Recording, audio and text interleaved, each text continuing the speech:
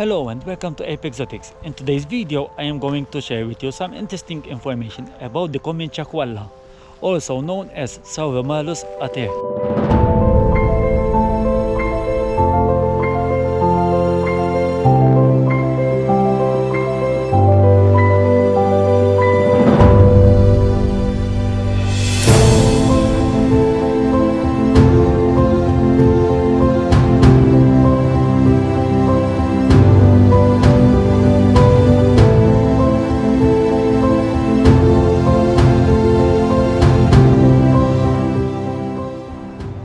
Sauromalus ater is a lizard species coming from the family of Iguanidae. The species inhabits the hot Sonoran and Mojave deserts of the southwestern United States and northwestern Mexico. Its range extends from eastern California, Utah, and Nevada south to Baja California and Sonora.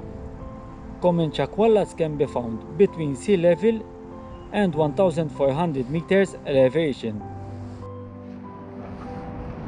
What are their characteristics? The common chuckwalla is a large, flat-bodied lizard with rounded belly and a wide-based, blunt-tipped tail. It reaches a length of 20 inches and a weight of 0.9 kilograms. Small scales cover its body, with larger scales protecting the ear openings.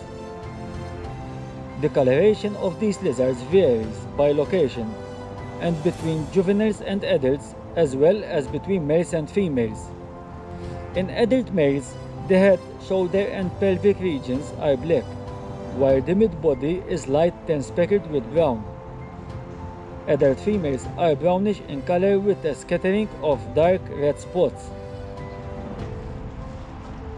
Young chuckwallas have four or five broad bands across their bodies, and three or four on the tail which are lost in adulthood by males but retained by females.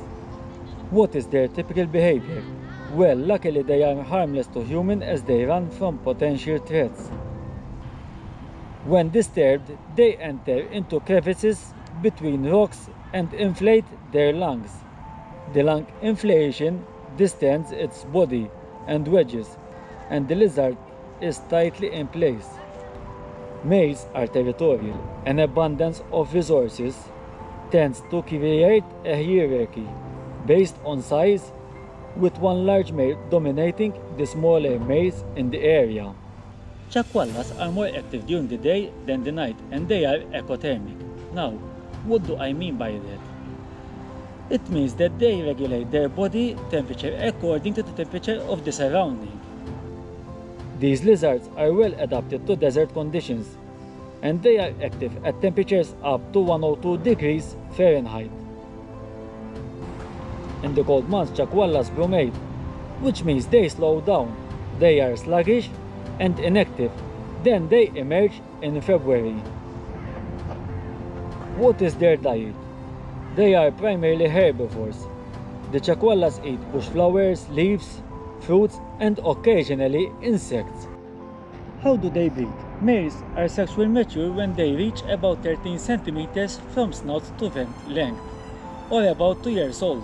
Female reach sexual maturity at the same length, but they may take longer to reach that length.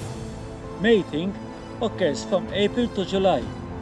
After a gestation period of one month, female lays eggs in an underground nest. The female protects their eggs from predators and other threats while they incubate. However, after they hatch, females no longer care after their young. Each clutch consists of 5 to 16 eggs being laid between June and August. The eggs hatch in late September. Common generally live 10 years or more given suitable conditions, limit predations, and adequate food availability. Fortunately, the IUCN categorized common chuckwalla as least concern due to the large population distribution and no immediate threats. Although total population size is not known, the estimated total adult population size could be around 100,000 or greater. However, when you see a chuckwalla in the wild, always be very careful when you try to handle it. Because when it feels threatened, it will lose its tail, which unfortunately, it will take a long time to grow back. So, thanks for watching Abe Exotics, hope you liked today's video, please don't forget to subscribe and see you next time.